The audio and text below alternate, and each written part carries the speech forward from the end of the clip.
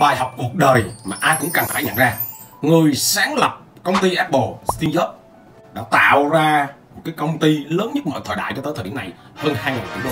Tuy nhiên ở độ tuổi 56 ông đã bị ung thư và ông mất đi năm 2011 ông để lại cho thế giới cả một cái kho tàng công nghệ mà cho tới hiện tại chúng ta còn được thừa hưởng những điều quý giá đó. Khi nằm trên giường bệnh, ông có những cái tâm sự sau.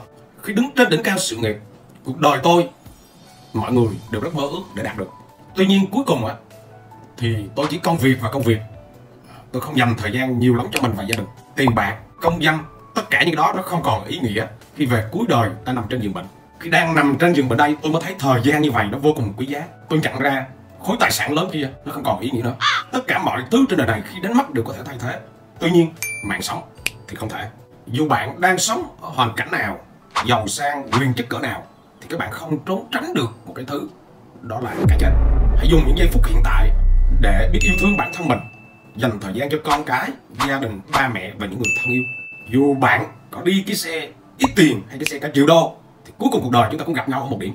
Dù bạn có làm cái ông to rất to, hoặc là người bình thường, thì cũng gặp nhau ở một điểm thôi. Nên chúng ta phải rút ra được bài học là gì? Khi chúng ta còn được sống, còn được cười, còn được nói, còn được yêu thương, thì hãy quý và trân trọng. Đó là những giây phút hạnh phúc nhất cuộc đời này.